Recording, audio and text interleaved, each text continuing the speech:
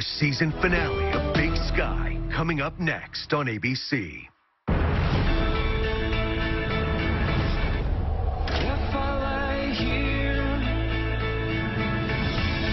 Jamara Blake is on her way to decide whether or not this hospital can continue its training program.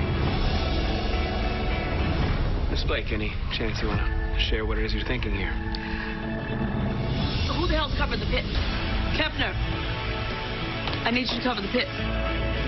You gonna shut us down?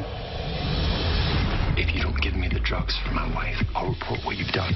Do you want this place to just crumble completely? Jackson, this may be surprising to you. I do not love being told what to do.